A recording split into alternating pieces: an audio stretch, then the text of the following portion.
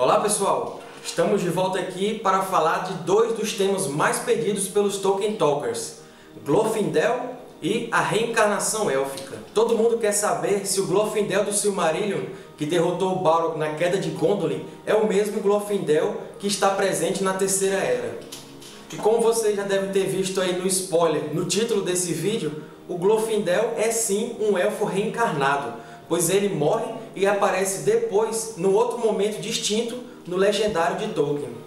E o vídeo de hoje vai para o pessoal que fez o pedido relacionado a esses temas, que são o Lucas Fernando, a Gaia Estelar TV, que é o nick dela aqui no YouTube, o Jairo Santos e o Vinícius Santiago. Para começar, eu quero tentar fazer aqui uma linha do tempo ou manter uma ordem cronológica sobre Glorfindel. Eu preciso confirmar então que o Glorfindel, que morreu em Gondolin, ressuscitou e voltou para a Terra-média. Isso foi explicado pelo Tolkien já no finalzinho da vida dele, na verdade menos de um ano antes dele morrer, em dois textos que ele escreveu em 1972. Um texto combina com o outro, salvo pequenos detalhes que eu vou comentar aqui mais tarde. Glorfindel significa de cabelo dourado, e ele foi um dos mais poderosos elfos que já pisaram na Terra-média. Inclusive, ele foi um dos emissários dos Valar, assim como foram os Istari, os magos. Não se sabe o parentesco de Glorfindel, mas com certeza ele era um dos Noldor. Possivelmente, ele tinha algum antepassado Vanyar, devido aos cabelos dourados.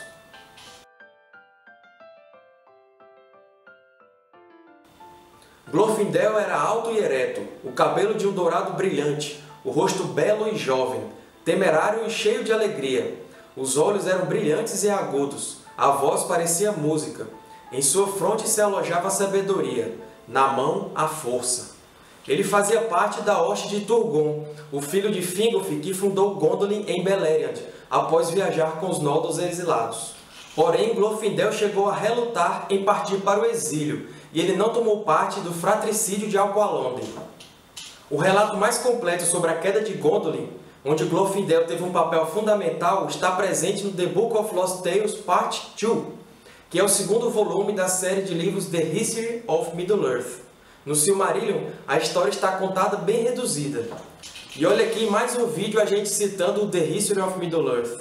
Em Gondolin, Glorfindel se tornou o chefe da Casa da Flor Dourada, uma das doze casas de Gondolin. Só ressaltando que o conto da queda de Gondolin é talvez o meu preferido das lendas antigas. E eu espero gravar aqui, mais para frente, um vídeo só sobre isso. Nesse aqui eu vou me restringir só ao Glorfindel mesmo. Fala-se então que durante a queda, Glorfindel se dirigiu para o grande mercado de Gondolin para conter o avanço dos orcs. E a Casa da Flor Dourada ostentava um sol raiado sobre seu escudo. E Glorfindel usava um manto bordado com tantos fios de ouro que ele parecia ornamentado como um campo de celidônias na primavera. Seus braços eram enriquecidos com ornamentos de ouro. Essa é a descrição que está lá no The Book of Lost Tales. A luta naquele lugar durou horas difíceis, até que chegou um Draco de fogo, que fez Glorfindel e os poucos de seus homens que sobraram partirem dali. Na fuga eles quase foram pegos, mas os homens da Casa da Arpa chegaram e os salvaram. Depois, Glorfindel se encontrou com Tuor na Praça do Rei, e ali montaram uma feroz resistência. Outros dragões chegavam e os elfos eram forçados a recuar mais. Tuor, Hidro e seu filho Earendil fugiam com um grupo de pessoas, muitas mulheres, crianças, enfermos e feridos. No final, ia o maior grupo de guerreiros, incluindo Glorfindel do cabelo dourado. Eles fugiram pela Fenda das Águias, onde morava Thorodor, o rei das águias. Em seu encalço estavam as forças de Morgoth, incluindo um terrível Balrog. Para enfrentá-lo, saltou Glorfindel e o encarou. No Silmarillion praticamente não há descrição de como é que foi essa luta, mas no relato da queda de Gondolin, nós sabemos como é que foi.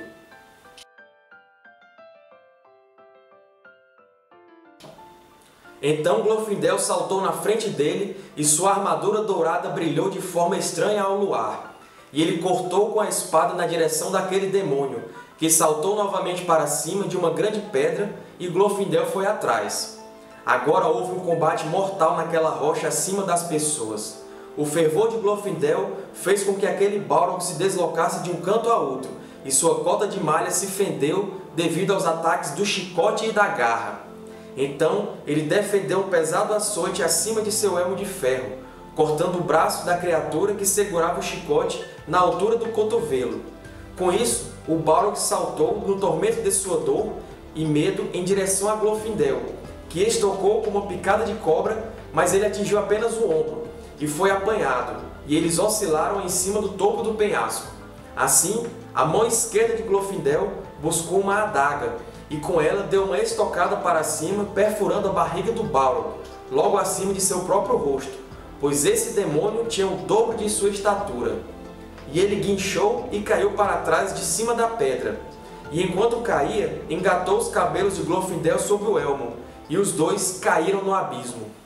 As águias chegaram e mataram os orcs. Thorodor resgatou então o corpo de Glorfindel.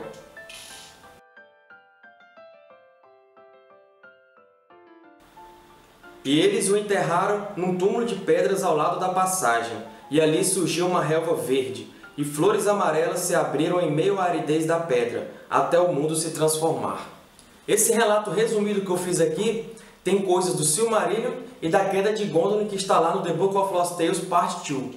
Agora vamos para o que é dito naqueles dois textos que eu falei que o Tolkien escreveu no finalzinho da vida dele. Eles estão no volume 12 do The History of Middle-earth cujo título é The Peoples of Middle-earth.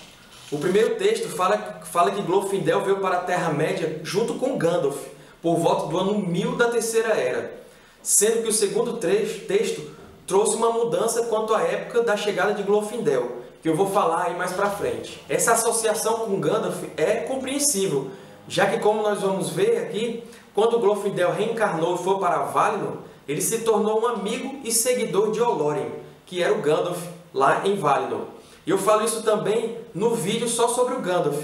Veja o link dele aqui na descrição do vídeo. Agora precisamos falar do assunto da reencarnação élfica. Então, de acordo com os registros, quando Glorfindel foi morto, seu espírito foi para Mandos, para ser julgado. E então ele permaneceria lá nos salões da espera até que Manwë o liberasse. Tolkien explica que os elfos estavam destinados a terem uma natureza imortal, dentro dos limites desconhecidos da vida na Terra como um reino habitável, e sua desincorporação era uma coisa muito penosa. Era dever, portanto, dos Valar restaurá-los, caso fossem mortos, para encarnarem em vida, caso desejassem, a menos que houvesse uma grave razão, ou seja, caso eles tivessem praticado feitos de grande mal ou quaisquer obras de malícia das quais permaneceram obstinadamente impenitentes. Caso eles fossem reencarnados, eles poderiam permanecer Valinor ou retornar para a Terra-média, caso a sua casa ainda estivesse lá. Tolkien afirma que podemos, portanto, supor razoavelmente que Glorfindel, após a purga ou perdão de sua parte na rebelião dos Noldor, foi liberado de mandos e tornou-se ele mesmo novamente, mas permaneceu no reino abençoado, pois Gondolin havia sido destruída e todos ou a maioria é, dos seus parentes estavam mortos. Tolkien afirma que podemos assim entender por que Glorfindel parece ser tão poderoso e quase que uma figura angelical, pois ele havia retornado à inocência primitiva dos nascidos primeiro, e então viveu por eras entre os elfos que nunca se rebelaram e na companhia dos Maia, desde os últimos anos da Primeira Era, através da Segunda Era, até o final do primeiro milênio da Terceira Era. Isso segundo a cronologia deste primeiro texto. O texto fala então que é de fato provável que Glorfindel tenha se tornado amigo e seguidor de Olórien.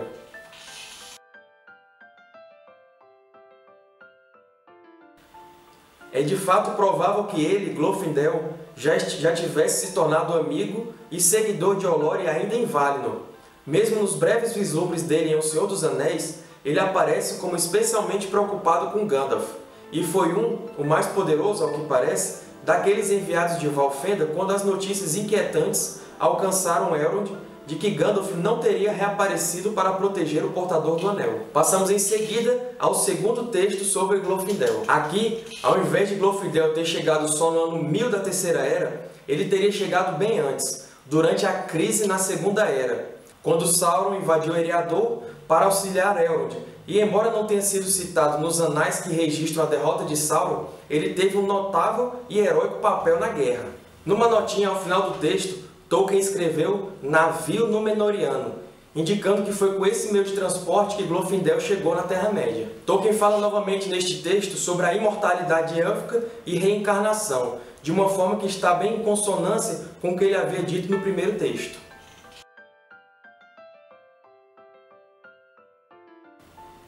Quando Glorfindel de Gondolin foi morto, seu espírito foi, de acordo com as leis estabelecidas pelo Único, obrigado a retornar para a terra dos Valar.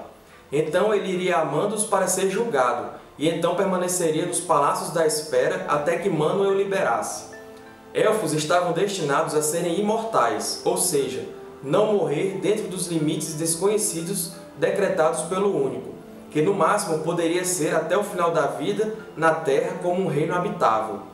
A morte deles, por qualquer ferimento a seus corpos, tão grave que não pudesse ser curado, e a desencarnação de seus espíritos era uma questão não natural e dolorosa.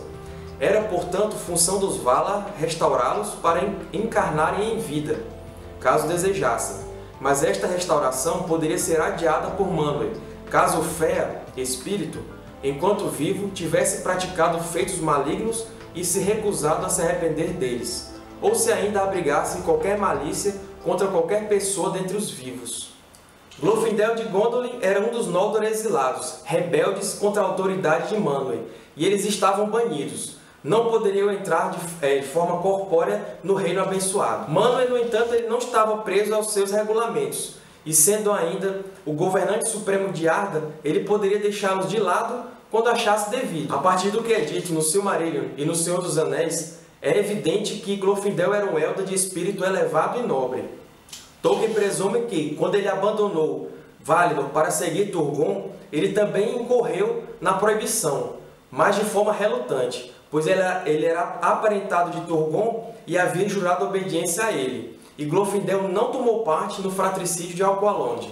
E aqui o mais importante, Glorfindel havia sacrificado sua vida para defender os fugitivos da destruição de Gondolin contra um demônio de Stangorodrim, permitindo que Tuor, Hidro e Earendil pudessem escapar. Embora ele não soubesse disso, seu feito permitiu com que se alcançasse o desígnio dos Vala. Assim, após a pulga de qualquer culpa que ele tivesse por ter incorrido na rebelião, ele foi liberado de Mandos e Manwë o restaurou. Glorfindel então se tornou uma pessoa encarnada novamente, tendo-lhe sido permitido viver no reino abençoado, pois ele havia ganho a inocência primitiva e a graça dos Eldar. Tolkien aqui repete o fato de que ele viveu entre os elfos, elfos que nunca se rebelaram e entre os Maia, e faz então aqui uma incrível revelação, que Glorfindel se tornara quase um igual em relação aos Maia, pois embora ele tenha se tornado um encarnado, seu poder espiritual foi grandemente aumentado devido ao seu alto sacrifício. Glorfindel teria retornado para a Terra-média antes do final da Segunda Era, da mudança do mundo e da queda de Númenor, antes que a sombra se instalasse na ilha dos Númenóreanos e quando estes ainda eram aliados dos Eldar. Seu retorno serviu para fortalecer Gil-galad e Elrond, quando o crescente mal das intenções de Sauron foi notado. Tolkien assim cogita que Glorfindel teria chegado novamente à Terra-média no ano de 1200 da Segunda Era, quando Sauron em pessoa foi a Lindon e tentou enganar Gil-galad, mas foi rejeitado e expulso. Mas o mais provável, de acordo com Tolkien, foi que Glorfindel tenha chegado no ano de 1600, o ano do pavor, que foi quando Barad ficou pronta e quando foi forjado o Um Anel, e Celebrimbor se tornou consciente da armadilha em que ele tinha caído. Pois em 1200, apesar de sua ansiedade, Gil-galad ainda se sentia poderoso e capaz de tratar com Sauron com desprezo. E também naquela época, os poderosos Númenóreanos eles estavam construindo portos na costa da Terra-média e muitos deles estavam fixando ali residência fixa. Já em 1600 ficou evidente que a guerra era iminente, pois Sauron foi desmascarado como o novo Senhor do Escuro e então eles precisavam se preparar para a batalha. E sem dúvidas eles enviaram mensagens de ajuda para Númenor e também para Valinor. Vamos fazer então agora um tour pela Terra-média para saber o que foi que aconteceu na, na Terceira Era em relação a Glorfindel. Como vocês lembram, aqui em Gondor, que ficava mais ao sul, era um dos dois reinados dos Dúnedain, porque o outro ficava aqui no norte, em Arnor. E esse reino de Arnor depois de tantas brigas e contendas, ele foi dividido em três reinos. Aproximando aqui o mapa, nós vamos ver que um deles era Rudal, que ficava mais nessa região aqui. Mais ao sul ficava Cardolan. E mais a oeste, inclusive incluindo a região do condado, ficava Arthedai. E o que ocorreu foi o seguinte: aqui do norte partiu o rei dos bruxos de Angmar, que desceu para Arnor, invadindo o reino. Depois de séculos de conflitos, foram enviadas mensagens ao rei Earnil II de Gondor, já que Angmar preparava seu ataque final. Ou seja, os Dúnedain do norte tiveram que pedir ajuda para seus parentes aqui do sul. O filho de Earnil, Earnu, chega a Lindon. Então ele chegou bem aqui pela região de Lindon e se estabeleceu aqui nos Portos Cinzentos, onde ele começou a auxiliar os Dúnedain do norte. Porém, foi tarde demais, porque as forças de Angmar já haviam destruído o reino de Arnor. Mas as poderosas forças de Arnor se uniram então ao povo de Kidan, aqui em Lindon, e aos remanescentes dos Dúnedain. E toda essa tropa do oeste partiu para a região de Fornost, que fica mais ou menos por aqui no mapa. E aqui houve enfrentamento com as forças do rei bruxo de Angmar. Aquela força de elfos e Dúnedain se juntou então Glorfindel e sua hoste vindos de Valfenda. Então, nós temos duas forças aqui. As forças aqui do rei Arnu, juntamente com os elfos de Lindon, os vassalos de Kida e os restantes dos Dúnedain, vieram daqui para cá. E mais aqui do leste, onde fica Valfenda, partiu Glorfindel junto com outros senhores élficos.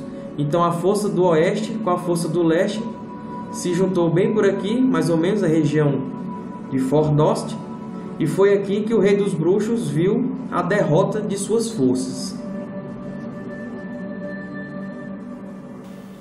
As forças de Angmar foram destruídas e o reinado de terror chegou ao fim. Porém, no meio disso tudo, haveria um evento onde uma profecia seria feita, tendo reflexo muito tempo depois, no final da Guerra do Anel.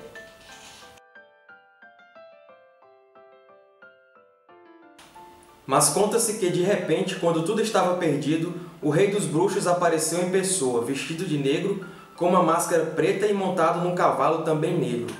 O medo dominou todos os que o contemplaram, mas ele escolheu o capitão de Gondor para descarregar todo o seu ódio, e com um grito terrível cavalgou direto contra ele.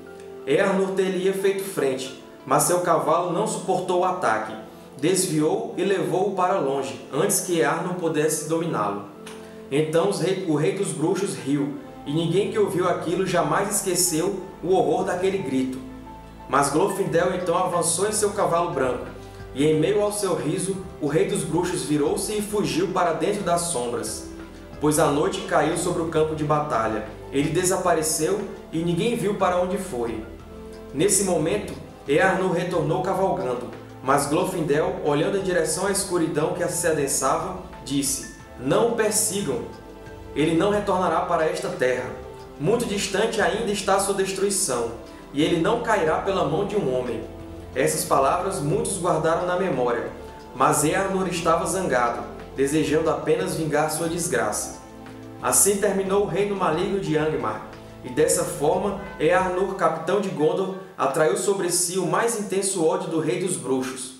Mas muitos anos ainda se passariam antes que isso fosse revelado. Durante a Guerra do Anel, pouco é dito sobre a participação de Glorfindel, mas o seu maior destaque é no resgate a Frodo e a derrota dos espectros do Anel na, nos vales do Bruine. Numa conversa depois disso é dado um relance do poder de Glorfindel.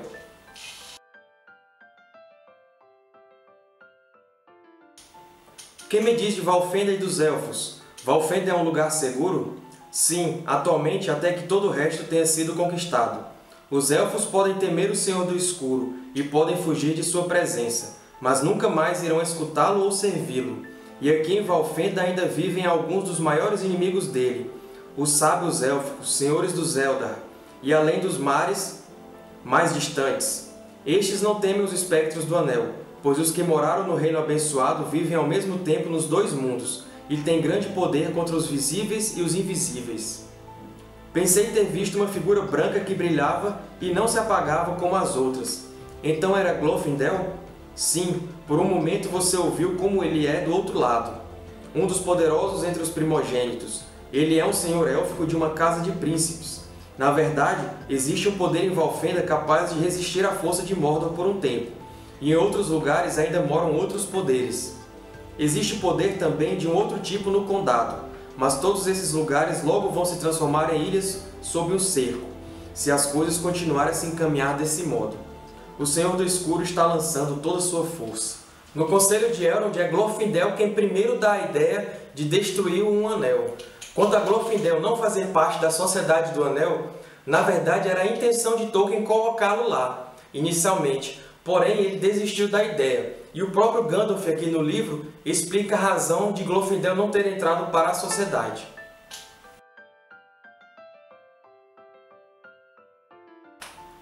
Nem Frodo, disse Gandalf inesperadamente apoiando Pippin, nem qualquer um de nós pode enxergar claramente. É verdade que se esses hobbits entendessem o perigo, não ousariam ir, mas ainda assim desejariam ir, ou desejariam ousar, ficando envergonhados e infelizes. Eu acho, Elrond, que nessa questão seria bom confiar mais na, na grande amizade deles do que na grande sabedoria. Mesmo que escolha para nós o Senhor Élfico como Glorfindel, ele não poderia abalar a Torre Escura, nem abrir a estrada que conduz ao fogo, por meio dos poderes que tem.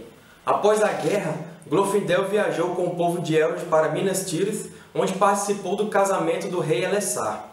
É provável que, com o cumprimento de sua missão na Terra-média, ele tenha retornado para o reino abençoado. Então é isso, pessoal. Espero que tenham gostado do vídeo. Não esqueçam de deixar seus comentários aqui embaixo no vídeo dizendo o que vocês acharam.